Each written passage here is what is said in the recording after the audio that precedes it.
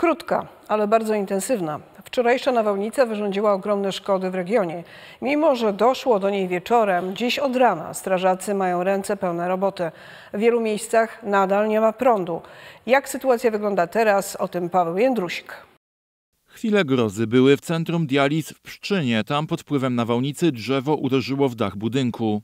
Na szczęście nie było żadnego pacjenta w tej małej sali, jak, jak my to nazywamy. Nikomu się nic po prostu nie stało. No i zaraz zadzwonili po straż, przyjechała straż, zabezpieczyła dach, y, no i żeby po prostu nie padało nam do środka. Teraz pomieszczenie jest wyłączone z użytku, ale centrum dializ funkcjonuje normalnie. Jadąc przed południem przez Pszczynę, powalone drzewa można było minąć co kilkaset metrów. Jak przyszłek, no to wygląda jak tragedia. Połamane drzewa, nie, bezpieczeństwo były rozwalane. No, Dużo roboty jest. U nas y, na posesji, tam gdzie mieszkam, y, dwa drzewa zwaliło. Straż przyjechała, usunęli to.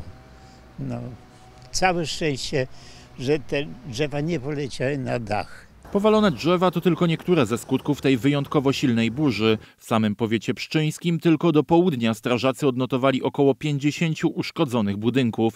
Były też sytuacje zagrażające życiu. Dość poważnie brzmiącą informację otrzymali dyżurni a propos mm, zdarzenia, y, w którym mieli zostać uwięzieni ludzie w samochodach y, podczas jazdy przez teren leśny, gdzie drzewa się waliły.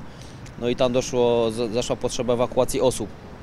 Także trzy osoby zostały ewakuowane przez strażaków. Ucierpiała nie tylko Pszczyna, burza dała się także we znaki m.in. mieszkańcom powiatu wyrybnickiego czy raciborskiego. Do godziny 9 strażacy odnotowali już ponad 1400 zgłoszeń.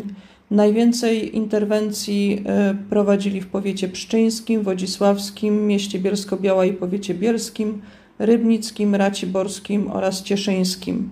Z powiatu rybnickiego do Wojewódzkiego Centrum Zarządzania Kryzysowego wyszła prośba o pomoc. pomoc w postaci wysłania 30 plandek, którymi można byłoby zabezpieczyć dachy uszkodzone na tym terenie.